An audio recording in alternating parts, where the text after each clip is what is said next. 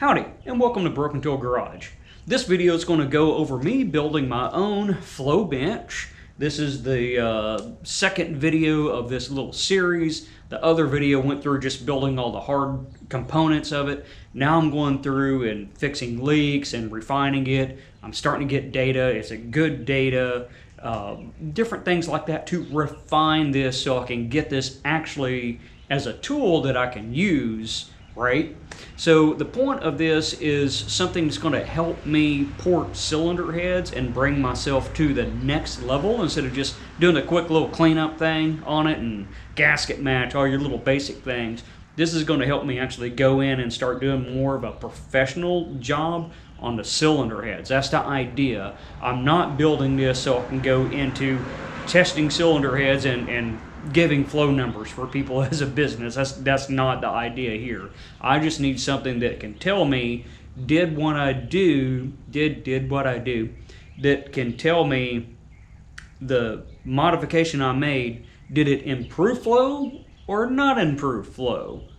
That's what I'm looking for there, and then I can have a before and uh, after thing of this is well, generally what it should be. And then if I really want the flow numbers, I can go send it off to get flow tested on a professional bench. That's what this is going to be doing for me now. So let's get into setting this thing up and refining it. Okay, so we got pretty much all the leaks out. I, I do have one leak I can't uh, do anything about, and that's the motor is an open motor. So the the fan in there, it's it's pulling air across the motor. So even if I close everything off, it's still sucking air across that motor to keep it cool. So I can't do anything about that. But as far as the rig, I'm set up good. So maybe that's why the shop vac method's better because it probably has an enclosed motor in it, right? Okay, so here's what I got set up to adjust the valve up and down. So this is exactly the same thing as if you got a stud mount uh, system and you go to tighten it right. So zero lash. Oop, right. I don't know how many times I've done that. And you see how that, man, one turn really cranked that thing down. So that's a coarse thread on there. And so one, you know, one turn of that would be like, you know, two, two or so turns on your fine thread. Right? So I can adjust that down and right now I don't have the dial indicator on. I just have my uh, calipers, digital calipers zeroed out. And then I just, you know, check it all the way up at the top. And then as I go down, I just keep checking it just as a rough guessman. I'm still working on this.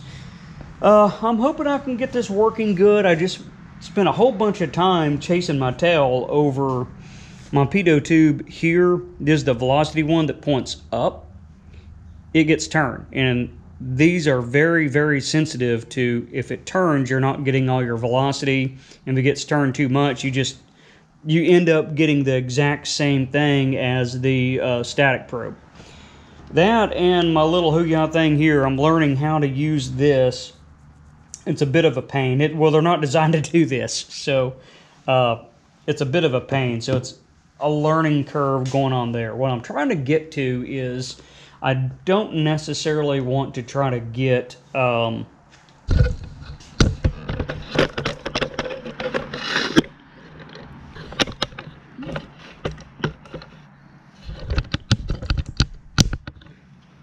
So I'm not going for something that repeats what a very expensive professional flow bench does. Not what I'm trying to do. What I'm trying to do is get something that gives me some flow numbers that is repeatable and consistent so that when I go through and port something, well, first off, I can go in and figure out where I need to port it, then go in and do the modification, and then check it to see if I had an improvement. This ain't there yet. Right now, it's kind of cool because it sucks air through it.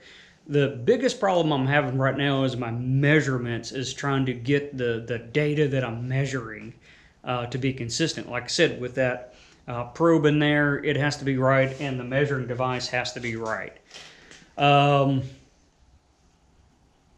I don't know. I don't think on that. I've been messing with it for a pretty good amount of time here, probably at, at least a good hour, just messing around. And I know this cylinder head is a 596 casting 360 four barrel head. Well, 360 head. They didn't make two barrel 360 heads. Um, so I know what the flow number is supposed to be, and I'm bouncing my numbers against it, and that's what I'm trying to do there. Is, is see, it's not going to be exact because I'm not pulling the same amount of vacuum.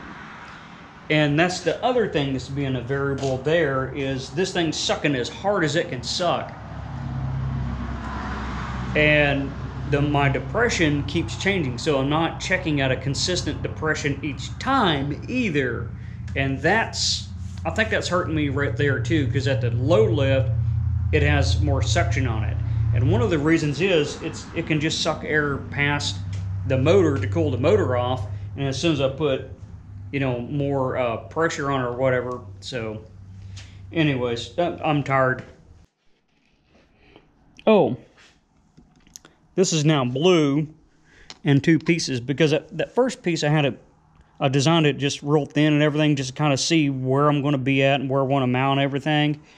Um, so this is the heavier duty pieces in here and it has the pre-made holes in there for the uh, pitot tubes and grommets. So if we look this one right here, let me get a pointer. This one is gathering my total pressure, right? It's pointed up. It was actually over in here by the wall, and I'm thinking there's like a vortex going on, and it just wasn't getting a good signal. So I'm going to have to play with that and see where that location is. It wasn't turned, um, but I don't think it was getting a good signal. Whereas the other one, it really doesn't matter. You know, it's kind of in the middle-ish. So that's one of the things I'm going to have to fiddle with to try to figure out where those need to be and then get those. They're, they're locked in pretty good, so that's not a big deal sealing. You can see the impression on here. Boy, that thing was stamped in good. Screen dim, so I can't tell what you're seeing.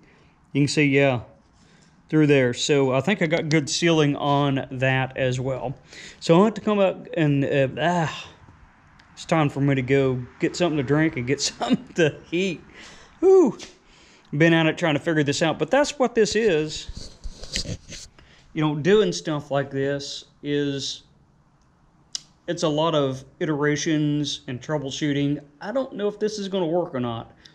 It should work, but sh- should's a dangerous word. So uh, that's the fun in this, and sometimes the aggravation of why isn't it measuring flow? Oh, because there's you know turbulence and all that. Not everything's not exact textbook on how things go together. It's not even flow throughout there.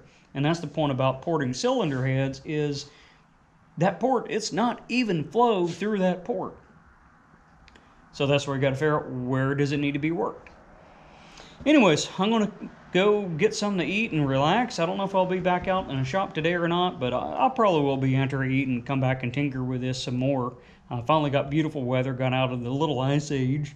So, uh, yeah, I'm enjoying it while we got it before it turns the other direction and goes to the Sahara. All right, got a good night's rest. Got me some coffee next morning. Beautiful. Almost don't need the the hoodie and, and beanie, but it's it, it's warming up. Birds are out. There's none of that four letter S word out or even three letter I word out.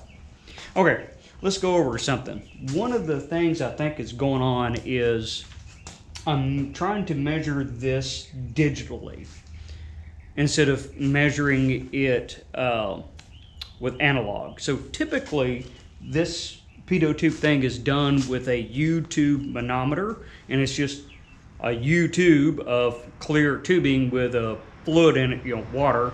Uh, and you, whenever it has a measurement like a tape measure or something in it, and wherever you pull pressure on one or add pressure or vacuum, it moves that water column up and down. Because that's what I'm measuring is you know, like typically these are measured at 28 inches of water column. That means that the water has moved up 28 inches, right? So what I'm trying to do here is I have my two pitots and I'm trying to see what the water column difference is. And it's such a fine measurement. What I'm getting with a digital manometer is it's, it's picking up spikes on this end and spikes on this end and I'm trying to measure, measure that much. One of the reasons that happens is whenever the any kind of a pump, you got some sort of blade or vane or something. So whenever that vane comes around, you get a pressure spike and then you get a pressure drop. And then the next one comes around, pressure spike, pressure drop. And that's what I'm seeing right there. There's no dampening in this uh, digital manometer that I have because it's not made to do this. You're, you're not going to see those kinds of spikes. Uh, so having a dampening in there, that's what I need. So kind of a more expensive uh, setup there. The other thing, if I have the fluid in there, it does dampening because you actually have to move the fluid for each one of those little micro movements in there. So you, I think that's going to give me a, a lot better measurement right there. So I'm going to go make one of those and hook it up to this and see if I still get that the crazy spikes and all that stuff in there. All right, I'm going to show you what I'm talking about.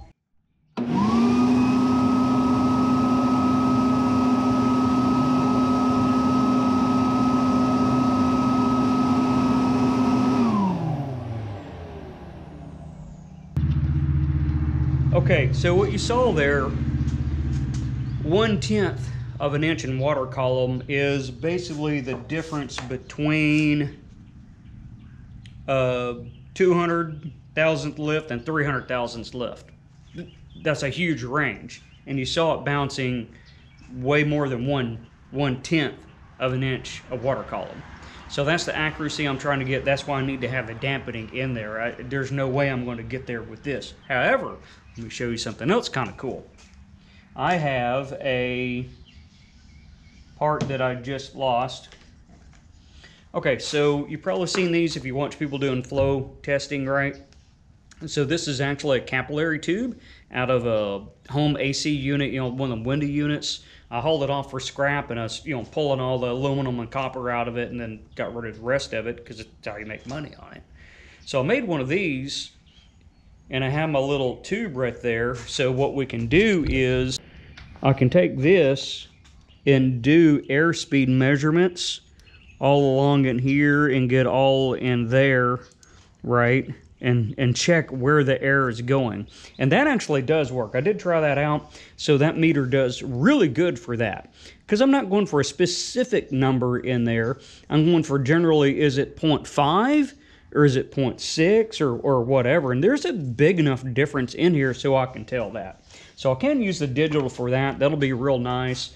But uh, I'm going to try that. Um, I'm going to try that manometer and give that a whirl and see if that fixes my issue so I can actually use my pitot tubes in there and get a flow measurement. All right, that was some refinement done on there. I'm not gonna be porting that head, at least not right now. That's the 360 head. That's not what's going on this project. I need to go get the heads I'm gonna be porting. Uh, they're actually off my 90 model 318. They're stock. They never, as far as I know, they've never been uh, sent to the machine shop or anything. So I'm gonna get those in, get those to the machine shop, get those clean. But that's a next evolution. So I think I'm to close this one out with the refinements on there. I'm pretty happy where I'm at. I'm to buy that manometer for $9 and uh, we'll hook that up. I think that's to get me where I want to go. So it looks like it was a dampening issue going on there and that should get me something consistent. So not saying it's going to be equal to the 28 inches professional. That was never the whole idea on this anyway. But pretty happy with that. That's the next step on that. I'll get those heads and start working on heads and start putting it on here and do some uh, tests. That's the next thing on the flow bench. And meanwhile, I need to be focused on getting this truck pulling apart, get the engine out, get the hood off, get the fenders off, blow all the front end apart, store engines, all that good stuff. That's next. Yeah, the hoodie and beanie's gone because it's beautiful outside now. All right, appreciate you watching. I'll see you next time on Broken Tool Garage.